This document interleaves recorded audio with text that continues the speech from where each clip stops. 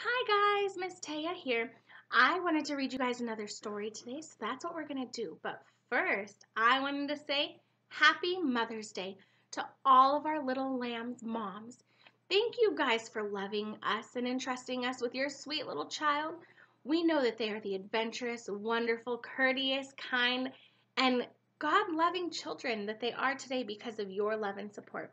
Thank you for allowing us to have a role in their lives, and thank you for allowing us to love them.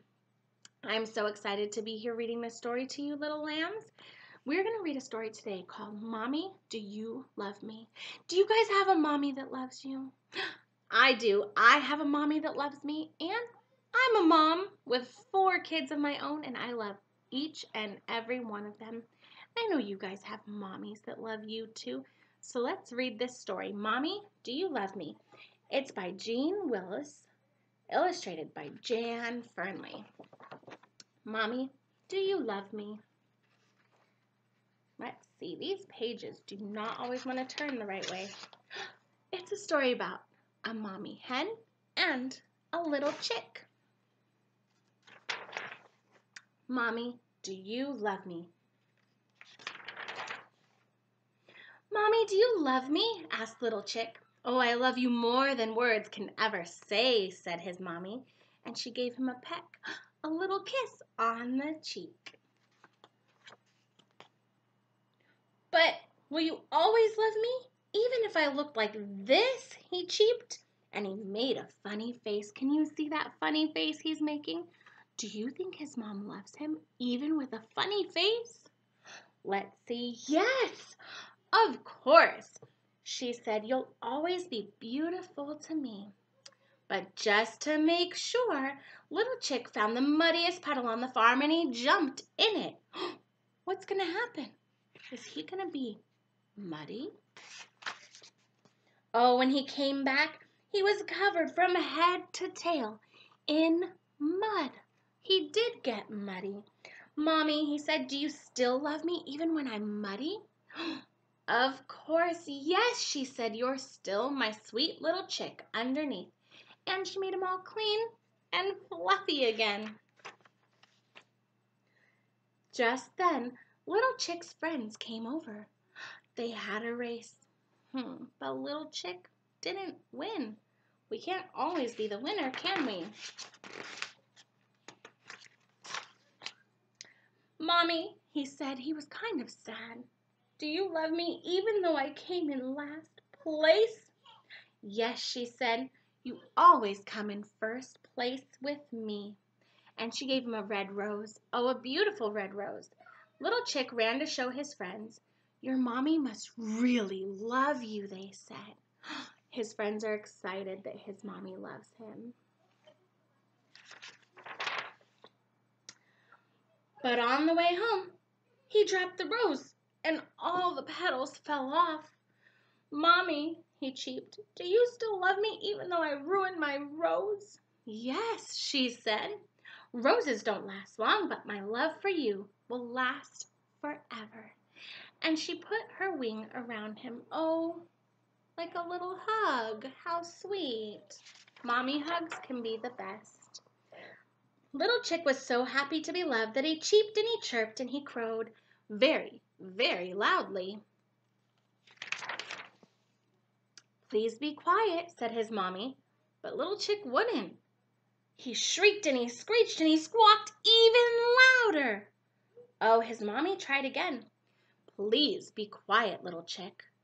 But little Chick wouldn't listen. He just kept shouting louder and louder. Oh no, he's not listening to mom. So his mommy shouted back, Please be quiet, little Chick. Little Chick couldn't believe his ears. His mommy had shouted at him. Didn't she love him any more? He was so upset that he ran away and he hid his head under his wings. This page has a lot of words on it. His mommy came looking for him. What's wrong, little chick? she said. Mommy, he cried, do you still love me even when I'm naughty? Little chick, she said, sometimes you make me mad and sometimes you make me sad.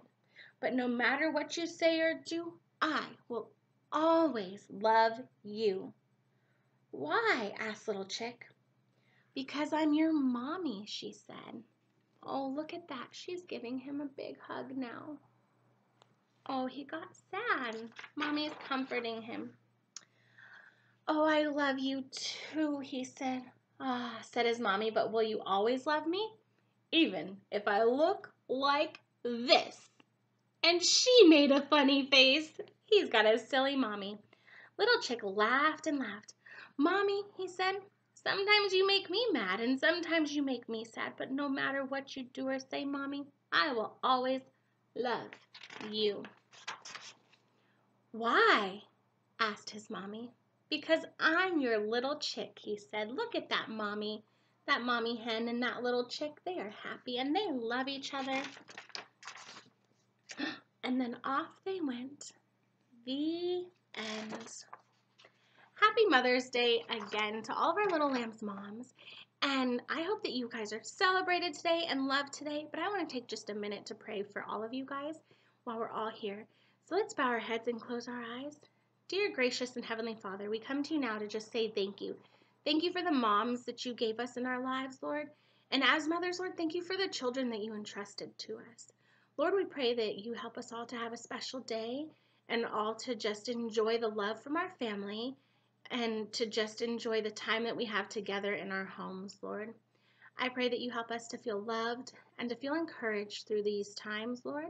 And I pray that you just continue to be here with us through it all. Thank you for all that you do. Thank you for keeping us safe.